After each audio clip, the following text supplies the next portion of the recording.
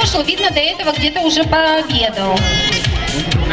Ну, с удовольствием, скажите. С удовольствием. Давайте, Ленита.